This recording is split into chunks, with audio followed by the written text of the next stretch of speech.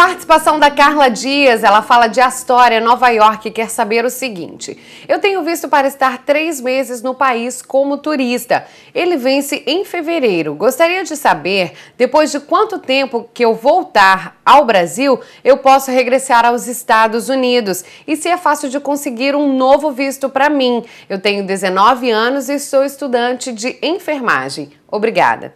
Bom, Carla, quem vai responder é o Dr. Moisés Absan. Confere aí.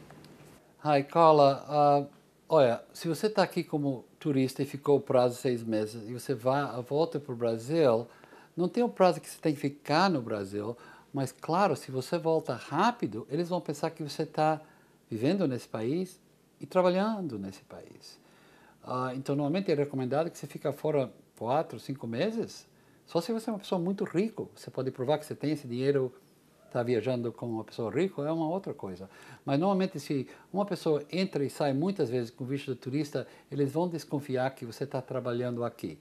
Agora, você está estudando enfermagem no Brasil, uma outra ideia seria que você uh, muda seu visto de turista para estudante, aí você não tem que sair do país.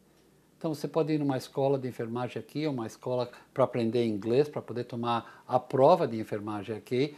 Ah, e você pode mudar seu visto para um visto de turista. Você vai em qualquer escola que está registrada com imigração e eles mostram o sistema que você tem que fazer para mudar o seu visto. Mas se você só quer sair e voltar como visto de turista, fica meses no Brasil antes que você tenta para voltar. E outra coisa que você falou, parece que você, seu visto já, já venceu, então você tem que voltar no consulado mais uma vez.